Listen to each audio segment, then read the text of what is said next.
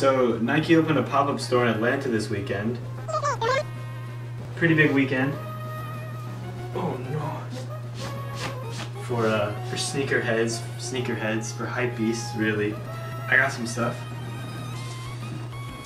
Yeah, so so so, so I got the uh the blazer right here. Make sure it's all focused in. Start. And I got the acronym Presto. I also picked up the PlayStation Air Force Ones. I mean, this is really all I was going to show you. Uh,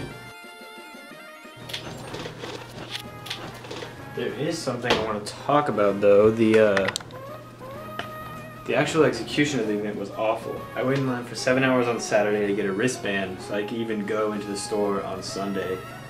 Uh, three hours in the, in the line on Sunday, even with the wristband. They had some other stuff. They had like Atmos, Air Max, and shattered backboards, but they were all gone by the time I got in, which really sucks because that's like you know, I'm a dirty reseller, so that's that's some money I could have gotten.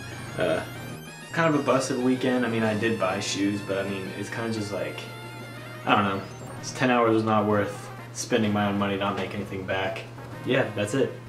Thanks for watching. Uh, sorry about the weird weird setup. I know uh, I'm usually just sitting down or talking, but I got this portable mic right here. Yeah, so I said portable, I meant like I have a, a whole like stand that I can actually stand up and do videos now, so I'm thinking it's a it's a more fluid way of shooting. I'm staring at the viewfinder a lot and not the camera.